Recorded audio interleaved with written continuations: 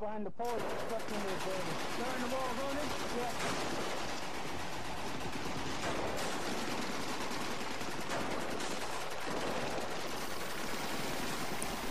They brought in the first body. The grunts brought him in. There weren't lights in the middle of the bunker yet, only along the side of the wall. So we put the body there, and then we did nothing. Although we had been trained, we didn't know what to do next. We were taught, but we didn't know. They took the time to tell us what to expect. But when the first body came in, several of us froze. We became inept and couldn't do anything, really. We just didn't know. We just couldn't. We knew how to complete the paperwork and what had to be done. But when it's real, when it's no longer an abstract thought, and when it's in your face, in front of you, you stand there, motionless, wondering, what do I do? What am I going to do? We would inventory everything. Everyone had a copy of the rules of engagement in their left breast pocket. Some would have knives or earplugs, food, a spoon, pens, rolled up pieces of paper, a scribbled reminder to their mother to send Skin So Soft or Blue Star ointment to keep the sand fleas away, a scrunched up wrapper, trash that wasn't thrown away, that didn't become litter, that would now become part of a family's lasting memories of a son, husband, brother, father, hero. There were pictures a man and his wife and daughter, a farmhouse and barn in Iowa. Many were the pictures teenagers would carry back home.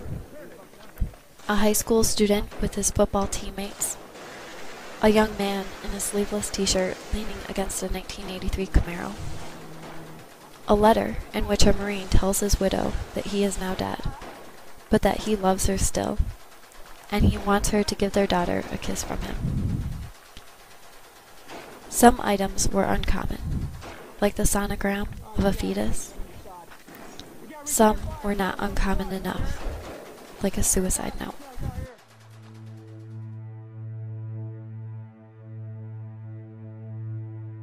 Before we left Camp TQ, we were told to see a counselor, but there was no attempt to communicate with us in a therapeutic way, or to encourage us to talk to each other. The counselor didn't tell us that what we saw and did in Iraq we'd never forget. He didn't say that the images would keep us awake all night in a sweat, or that we'd never fully rid ourselves of the smell of death, or that we wouldn't be able to eat, or leave our parents' house, or our own apartment for months, or that we'd shoot at neighborhood kids from our windows, or pop 60 pills a day, or wander the streets of our hometown in a stupor. The counselor didn't tell us that whole spheres of our lives and basic aspects of ourselves were gone, obliterated. That friends and family members and spouses, good memories, sleep, fun, food, and clarity would all have to be shaded black.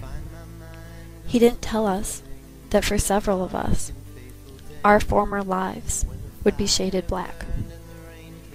The counselor didn't say that for a couple of us, hope would be shaded black.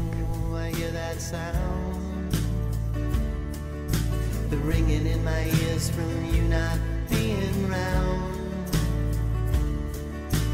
Oh, I hear that noise. If I got another chance, maybe I would make a different choice.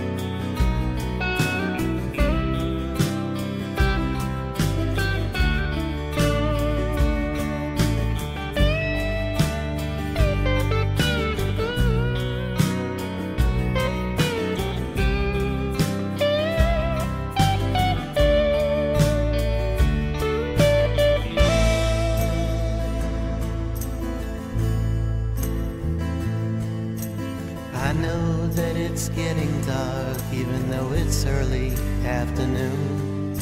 The train conductor blows his whistle and he'll be here soon. I gave all that they asked of me, and sometimes I gave more. You tell them to remember that next time they start a war. Oh, I hear that sound. Sure what it is, but I think I'm going down. Oh, I hear that noise. Is that Jesus come a calling or the sound of an angel's voice? Oh, I hear that sound. Don't you worry about me, mama. I just hope I make